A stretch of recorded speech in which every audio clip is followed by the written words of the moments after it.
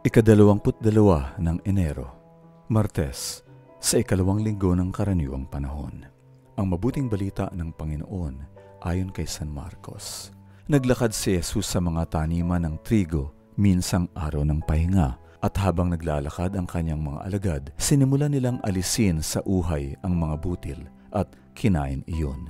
At sinabi kay Jesus ng mga pariseyo, Tingnan mo ang ginagawa nila sa araw ng pahinga hindi ito ipinahihintulot.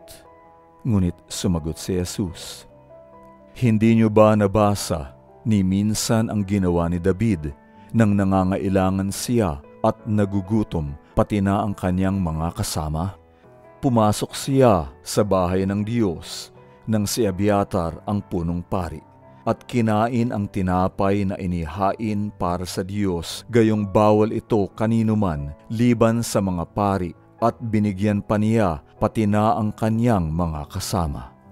At sinabi pa sa kanila ni Jesus, Dahil sa tao, kaya ginawa ang araw ng pahinga, ngunit hindi ang tao dahil sa araw ng pahinga. Kung gayon, ang anak ng tao ang Panginoon kahit na ng araw ng pahinga. Ang mabuting balita ng Panginoon. Dahil sa tao kaya ginawa ang araw ng pahinga, ngunit hindi ang tao dahil sa araw ng pahinga.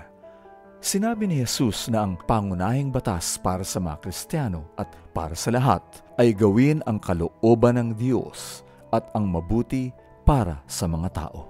Kaya ang batas o institusyon na hindi para sa kapakinabangan ng tao ay salungat din sa kalooban ng Diyos.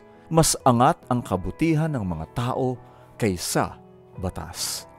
Sinabi ni Santo Tomas de Aquino, ang kapangyarihan ay ipinagkaloob sa iilang tao upang gumawa ng batas na sumasakop sa mabuting kapakanan ng lahat ng tao. Sa madaling salita, ang batas ay para sa kabutihan ng tao. Kaya kapag gumagawa tayo ng mga regulasyon, dapat nating itaguyod ang kahalagahan ng mga tao. Ang estrukturang panlipunan at institusyon ay itinatag upang magtaguyod sa karangalan ng tao. Samantala, dapat buwagin o baguhin ang batas o institusyon na mapanganib sa tao. Pagsasagawa, kung ikaw ay binigyan ng isang katungkulan, alalahanin mo ang kasabihan. Sa ipinagkaloob na kapangyarihan ay may kaakibat na pananagutan.